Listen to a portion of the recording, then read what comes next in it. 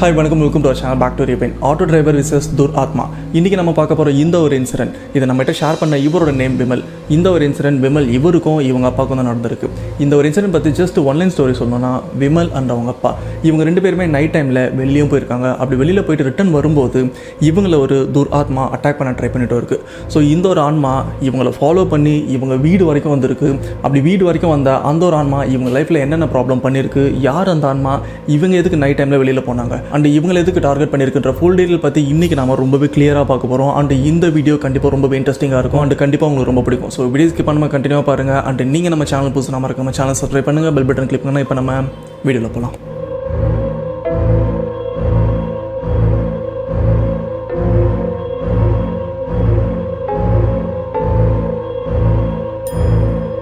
இந்த ஒரு இன்சிடென்ட்டை ஷேர் பண்ண இவரோட நேம் விமல். இவர் திருவாரூரை சேர்ந்தவர் இப்போ காலேஜும் படிச்சிருக்காரு அண்ட் விமல் இவங்க அப்பா ஒரு ஆட்டோ டிரைவராகவும் இருக்காரு சொந்த ஆட்டோ தான் வச்சுட்டு இருக்காரு அண்ட் இந்த ஒரு இன்சிடென்ட் டூ தௌசண்ட் எயிட்டீனில் தான் விமல் இவருக்கும் இவங்க அப்பாவுக்கும் நடந்திருக்கு. அதை பற்றி இப்போ நம்ம கிளியராக பார்க்கலாம். Two thousand eighteen Thiruvarur. Vimal இவங்க ஸ்டே பண்ணியிருக்க வீட்டுக்கு எக்ஸாக்டாக பக்கத்துலேயே பார்த்தீங்கன்னா இன்னொரு ஃபேமிலியாக ஸ்டே பண்ணியிருக்காங்க அண்ட் அந்த ஃபேமிலியில் ஒரு வயசானவர் இருக்காரு. அவருக்கு ஆல்ரெடி ஹெல்த் ப்ராப்ளம் இருந்துகிட்டே இருக்குது அன்னைக்கு நைட்டு அவரோட ஹெல்த் இன்னும் மோசமாயிட்டே போகுது. இன்னும் கொஞ்ச நேரத்தில் ஹாஸ்பிட்டலில் சேர்க்கலன்னா என்ன வேணால் ஆகிறதுக்கு நிறையவே சான்ஸ் இருக்குது ஸோ இதை இதனால் பக்கத்து வீட்டில் இருக்கிற விமல் அவங்க அப்பாவையும் கூப்பிட்றாங்க.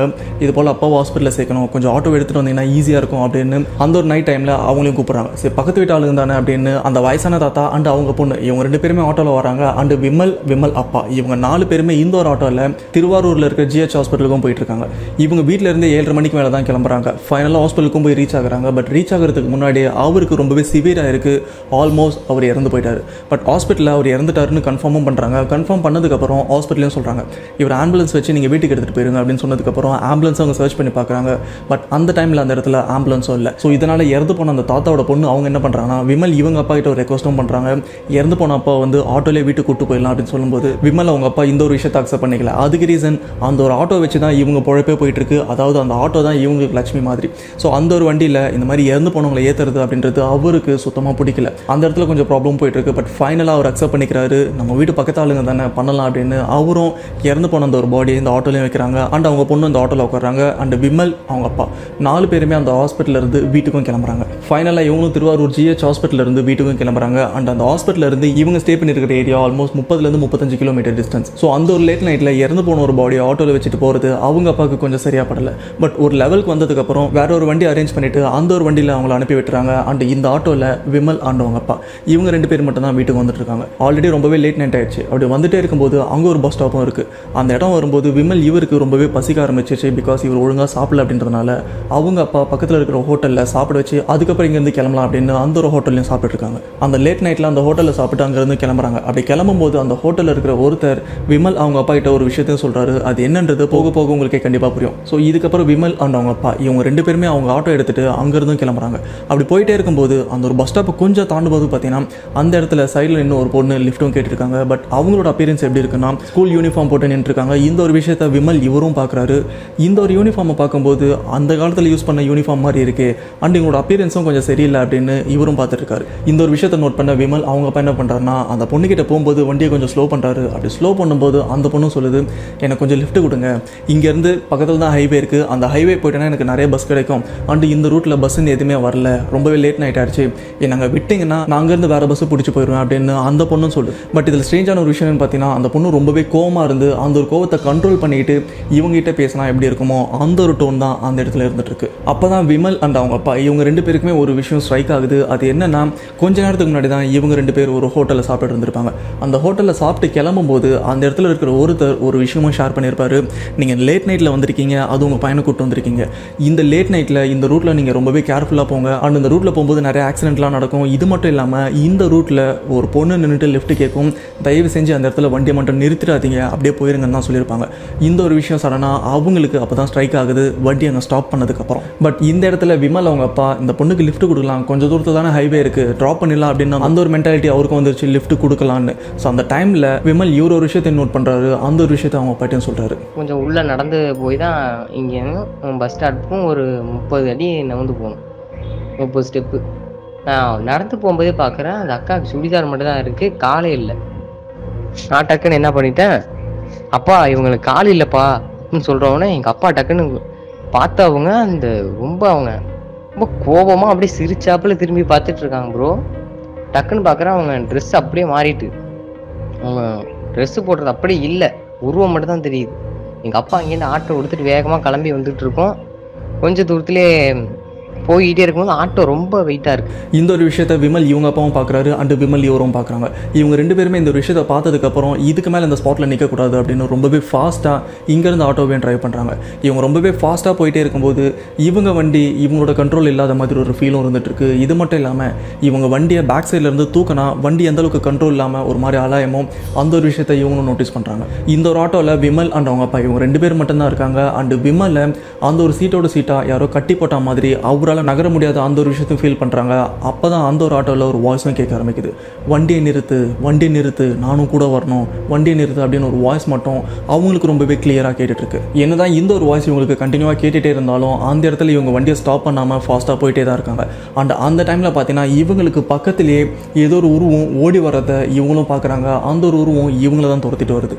ஸோ இதுக்கப்புறம் விமல் அவங்க அப்பா என்ன பண்ணுறாருன்னா கொஞ்சம் பக்கத்தில் இருக்கிற ஒரு கோயிலையும் பார்க்குறாரு அண்ட் அந்த கோயில்கிட்ட வண்டியை பார்க் பண்ணிவிட்டு விமல் இவரையும் கோயிலையும் தூக்கிட்டு அந்த கோயில் உள்ளேயும் ஓடிடுறாரு. அந்த கோயில் உள்ள போனதுக்கப்புறம் விமல் ரொம்பவே பயந்துருக்காருன்னு அவங்க அப்பாவுக்கும் தெரிய வருது. அண்ட் அந்த இடத்துல அவர் எந்த அளவுக்கு கண்ட்ரோல் பண்ண முடியுமோ எந்த அளவுக்கு சமாதானப்படுத்த முடியுமோ அந்த அளவுக்கு சமாதானப்படுத்திட்டு ப்ரே பண்ணிட்டு இருக்காங்க. ஸோ இந்த ஒரு இடத்துல தான் விமல் இவருக்கு இன்னொரு விஷயமும் ஸ்ட்ரைக் ஆகுது. அது என்னன்னா இந்த ஒரு இன்சிடென்ட் நடக்கிறதுக்கு ஒரு நாள் முன்னாடி அவங்க வீட்டுக்கிட்ட குடுகுடுப்பக்காரன் அதாவது கோடாங்கின்னு சொல்லுவாங்க இவங்க வந்திருக்காங்க. அவங்க அந்த இடத்துல வந்து ஒரு விஷயமும் சொல்லியிருக்காங்க அது என்னன்னா இந்த வீட்டில் ஒரு பலி விழப்போகுது. அப்படி இறந்து போகிற அந்த ஒரு ஆன்மா இந்த வீட்டில் இருக்கிற ஒரு உயிரை பலி வாங்க முயற்சி பண்ணிட்டு இருக்கோம். ஸோ இந்த ஒரு விஷயத்துலேருந்து நீங்கள் வெளியில் வரணும்னா உங்களோட குலதெய்வத்தை நீங்கள் வணங்குனீங்கன்னா இந்த ஒரு விஷயத்துலேருந்து நீங்கள் வெளியில் வந்துடுவீங்க அப்படின்னு ஃபர்ஸ்ட் எதிர்க்க இருக்கிற அந்த பெரியவர் வீட்டு அவர் வீட்டையும் பார்த்து சொல்கிறாரு அண்ட் அதுக்கப்புறம் விமல் இவங்க வீடு. இவங்க ரெண்டு வீடையும் பார்த்து தான் இந்த ஒரு விஷயத்த அந்த கோடாங்கி சொல்லிட்டு இருக்காரு அப்படி அந்த டைமில் சொன்ன அந்த ஒரு வார்த்தை இவருக்கும் உடனே ஸ்ட்ரைக் ஆகுது. அண்ட் இதுக்கப்புறம் அவங்க வழிபடுற அவங்களோட குலதெய்வத்தையும் அந்த இடத்துல ப்ரே பண்ணுறாங்க ஸோ ப்ரே பண்ணதுக்கப்புறம் இன்னைக்கு நைட்டு இந்த கோவிலே ஸ்டே பண்ணிடலாமா காலையில் போயிடலாமா அப்படின்னு அவங்க அப்பாவை பார்த்து விமல் இவரும் கேட்குறாங்க ஆனால் கொஞ்ச நேரத்தில் அந்த ஒரு கோவில் இருந்துட்டு உடனே அங்கேருந்து வீட்டுக்கு போயிடலாம் அப்படின்னு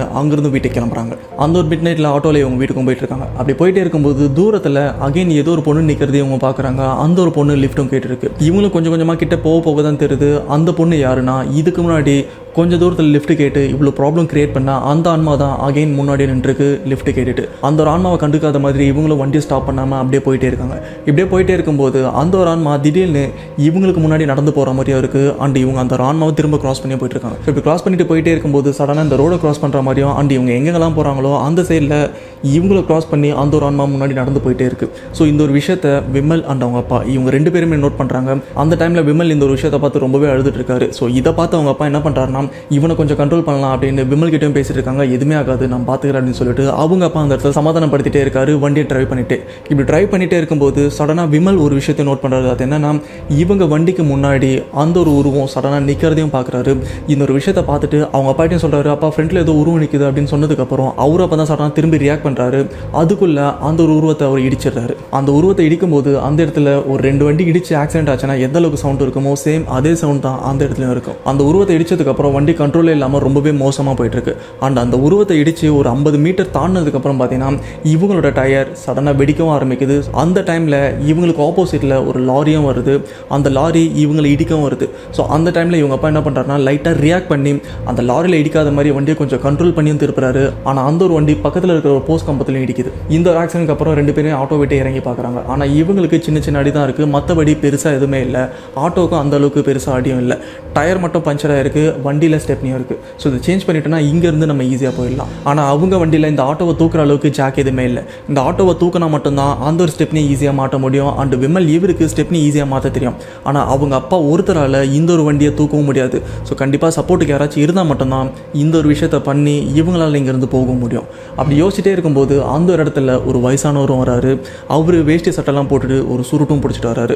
ஸோ இவர் இவங்ககிட்ட வந்ததுக்கப்புறம் என்ன பார்த்து அப்படின்னு அவர் ரொம்பவே கேஷுவலாக கேட்குறாரு அண்ட் இங்கே நடந்த எல்லா விஷயத்தையுமே அவங்ககிட்டயும் சொல்லும்போது ஆமாப்பா இந்த இடத்துல வரும்போது இந்த ஆட்டோக்காரங்களுக்கு இந்த மாதிரி ஆக்சிடென்ட்லாம் நடந்துட்டு தான் இருக்குது அண்ட் இந்த இடத்துல இது போல் நிறைய பிரச்சனைலாம் இருக்குது பட் எதுக்கும் கவலைப்படாதீங்க. இப்போ என்ன இந்த ஆட்டோ தூக்கணும் அவ்வளோதானே நாங்கள் ரெண்டு பேரும் தூக்குறோம். இவன் ஸ்டெப்னியை மாட்டட்டும் அப்படின்னு விமல் அவங்க அப்பா அண்ட் வயசானவர் இவங்க ரெண்டு பேருமே ஆட்டோ தூக்குறாங்க. அண்ட் விமல் ஸ்டெப்னியை சேஞ்ச் பண்ணிட்டு இருக்காரு. இந்த ஒரு ஸ்டெப்னியை சேஞ்ச் பண்ணதுக்கப்புறம் அந்த வயசானவர் விமல் இவரோட ஷோல்டரை தட்டி எதுக்குமே பயப்படாத நான் இருக்கேன் அப்படின்னு சொல்லி அந்த இடத்துல அவரும் ஆறுதல் சொல்கிறார் அண்ட் இதுக்கப்புறம் அவர் என்ன சொல்கிறாருன்னா நீங்கள் முன்னாடி போயிட்டே இருங்க உங்கள் பின்னாடி நான் சப்போர்ட்டுக்கு நான் வந்துட்டே இருக்கேன் அப்படின்னு சொல்லிட்டு அவரும் பின்னாடி சைக்கிளில் வந்துட்டு இருக்காரு. அண்ட் இவங்க ஆட்டோவில் போயிட்டே இருக்காங்க. இப்படியே ஒரு லெவலுக்கு அப்புறம் அந்த ஒரு ஹைவேவும் வருது. அந்த ஒரு ஹைவே இவங்க ரீச் பண்ணும்போது பின்னாடி வந்த அந்த ஒரு தாத்தா ஆளை காணும். பிகாஸ் இதுக்கு முன்னாடி அவர் சைக்கிளில் வரும்போது விமல் அடிக்கடி பின்னாடி திரும்பி பார்த்துட்டு தான் வந்திருப்பாரு. அந்த ஒரு வயசானவர் சைக்கிளில் வந்துட்டே தான் இருந்தார். ஆனால் அந்த ஒரு ஹைவே ரீச் ஆன அடுத்த செகண்டே பார்த்தீங்கன்னா அவர் அந்த இடத்துல இருந்த ஒரு தடம் கூட இல்லை. அண்ட் இந்த இடத்துல அந்த வேஷ்டி சட்டை கட்டிட்டு அந்த சுருட்டு பிடிச்சிட்டு வந்த அந்த வயசானவர் யாருன்னு உங்களுக்கு ஏதாச்சும் ஐடியா இருந்ததுன்னா மறக்காம கமெண்ட் பாக்ஸில் மென்ஷன் பண்ணுங்க. விமல் அண்ட் அவங்க அப்பா இவங்க ரெண்டு பேருமே ஃபைனலாக வீட்டுக்கும் வராங்க. அண்ட் வீட்டுக்கு வந்ததுக்கப்புறம் கொஞ்சம் ரெஸ்ட் எடுத்துருக்காங்க இருக்காங்க.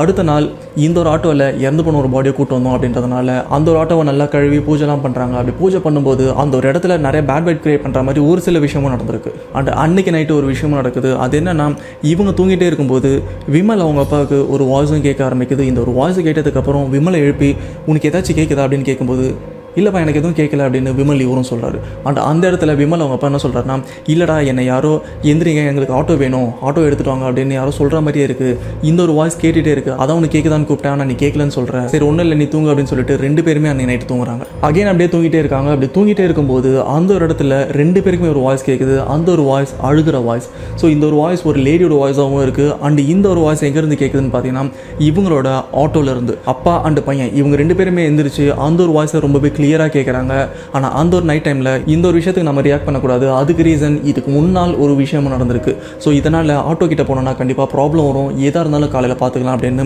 விமல் அண்ட் அவங்க அப்பா இவங்க ரெண்டு பேருமே அந்த ஒரு நைட் தூங்கிட்டும் இருக்காங்க.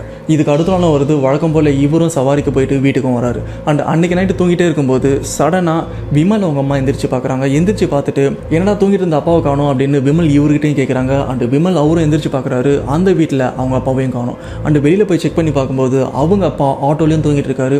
இவர் அப்போ ஆட்டோவில் வந்து தூங்கினாரு அப்படின்னு இவருக்கு ரொம்பவே கன்ஃபியூஷனாக இருக்குது பிகாஸ் இது போல் இவர் ஆட்டோலாம் தூங்க மாட்டார்.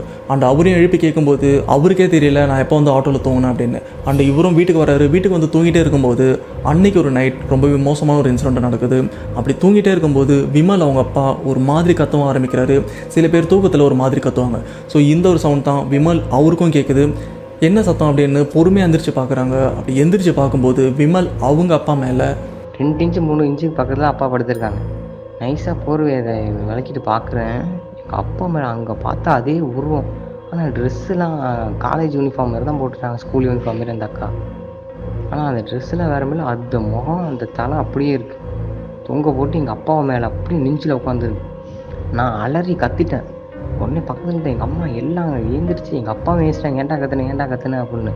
அந்த அது அந்த கத்துனோடனே எங்கள் அப்பாவில் இருந்த அந்த ஆன்மா போயிட்டு போனது எங்கள் அப்பா திரும்பி பேச ஆரம்பிச்சிட்டாங்க என்னடா சேனடா சேனடா கத்துற? அப்படி இப்படின்னு சொல்லும் போது நான் எங்கள் அம்மாட்ட எங்கள் அம்மா எங்கள் அம்மாட்ட நான் சொல்ல ஆரம்பிச்சிட்டேன் பயத்துலேயே. நான் இது மாரிமா அது மாரிமா அப்படின்னு நான் சொல்லிட்டேன் நீ நடந்த எல்லாத்தையும். ஃபைனலாக எல்லா விஷயமும் விமல் அவங்க அம்மாக்கும் தெரிய வருது. விமல் எல்லா விஷயத்தையும் அவங்க அம்மாட்ட சொல்லிட்டாங்க. இந்த ஒரு விஷயத்தை முன்னாடியே சொல்லியிருந்தா அதுக்கான ஸ்டெப்ஸ் எடுத்துக்கலாம் அப்படின்னு விமல் எவரையும் திட்ட ஆரம்பிக்கிறாங்க. அண்ட் அன்னைக்கே அவனுக்கு தெரிஞ்ச ஒரு பூசாரிக்கிட்டையும் போகிறாங்க அவங்க குலதெய்வ பூசாரி. ஸோ அவங்க போனதுக்கப்புறம் அந்த ஒரு பூசாரி ஒரு பார்த்த உடனே கிளியராக சொல்லிடுறாங்க. இவர் மேலே ஏதோ ஒன்று இருக்குது அதை இவர் உடம்புல இருந்து வெளியில் எத்தணும் அப்படின்னு அதுக்கான ஒரு சில சடங்கெல்லாம் பண்ணிட்டு இருக்காங்க அண்ட் அவர் தலையில் எதை வச்சு அழுத்தி மந்திரிச்சுட்டு இருக்காங்க. அப்போது விமல் அவங்க அப்பாவோட அப்பீரியன்ஸ் டோட்டலாக மாறுது. அது எப்படி இருக்குன்னா அவரோட ஃபேஸ் பார்க்குறதுக்கு ஒரு லேடியோட ஃபேஸ் மாதிரி இருந்திருக்கு. அண்ட் அவர் உடம்புல இருக்கிற அந்த ஒரு ஆன்மாவும் சொல்லுது இவர் உடம்புல நான் தான் இருக்கேன். அன்னைக்கு இவங்ககிட்ட நான் லிஃப்ட் கேட்டேன். அன்னைக்கு லிஃப்ட் கொடுத்துருந்தாங்கன்னா இவங்க வண்டியில் நான் ஜஸ்ட் ஏறிட்டு அங்கேயே நான் மறைஞ்சு போயிருப்பேன். அப்படி லிஃப்ட் கொடுக்க வரும்போது இதோ இந்த பையன் நான் யாருன்னு கண்டுபிடிச்சிட்டான். அண்ட் இந்த ஒரு விஷயம் இவங்க ரெண்டு பேருக்குமே தெரிஞ்சிருச்சு. அதனால தான் இவங்கள ஃபாலோ பண்ணிட்டு இவரோட உடம்புலேயே வந்திருக்கேன் அப்படின்னு அந்த ஒரு ஆன்மாவும் சொல்லியிருக்கு. இது மட்டும் இல்லாமல் இது ஒரு இறந்து போன பொண்ணோட துர் ஆன்மா.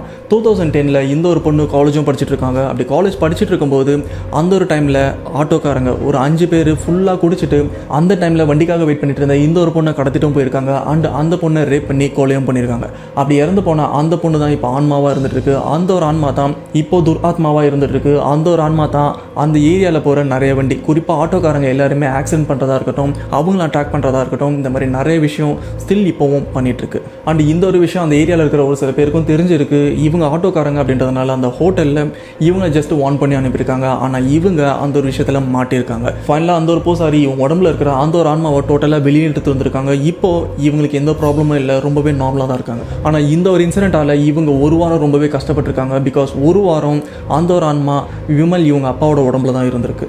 ஸோ இந்த ஒரு இன்சிடென்ட் கேட்கும்போது உங்களோட தாட் என்னன்றது வந்து மறக்காமல் கமெண்ட் பாக்ஸில் மென்ஷன் பண்ணுங்கள் இன்னைக்கு பார்த்த வீடியோ கண்டிப்பாக உங்களுக்கு பிடிச்சிருக்கும். இந்த வீடியோ உங்களுக்கு பிடிச்சா மறக்காம லைக் பண்ணுங்கள் உங்கள் வேலையான கமெண்ட் என்னன்றது வந்து மறக்காமல் கமெண்ட் பாக்ஸில் மென்ஷன் பண்ணுங்கள் இன்றைக்கி நம்ம ஆட்டோ டிரைவர் விசஸ் துர் ஆத்மா.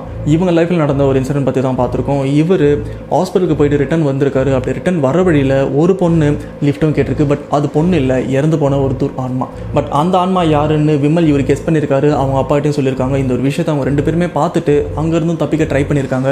அதுக்கப்புறம் தான் அந்த ஒரு ஆன்மா இவங்களை ஃபாலோ பண்ணி அவங்க அப்பாவை ப்ரொசஸ் பண்ணி இவ்வளோ ப்ராப்ளம் கிரியேட் பண்ணியிருக்கு. ஃபைனலாக அந்த ஒரு ஆன்மாவை இவர் உடம்புல இருந்து ஏற்றிருக்காங்க அண்ட் இந்த ஒரு பொண்ணு டூ தௌசண்ட் டெனில் சில ஆட்டோக்காரங்க குடிச்சிட்டு ரேப் பண்ணி கொலை பண்ணியிருக்காங்க. அப்படிப்பட்ட ஆன்மா தான் அந்த இடத்துல சுற்றி இருந்திருக்கு. ஸோ இந்த ஒரு இன்சிடென்ட்டை பற்றி உங்களோட தாட் என்னன்றது வந்து மறக்காமல் கமெண்ட் பாக்ஸில் மென்ஷன் பண்ணுங்கள் ஸோ நெக்ஸ்ட் ஒரு இன்ட்ரெஸ்டிங்கான வீடியோவில் கண்டிப்பாக வந்து மீட் பண்ணுறேன் அதுவரை உங்களிடம் பெறுவது உங்கள் நான்.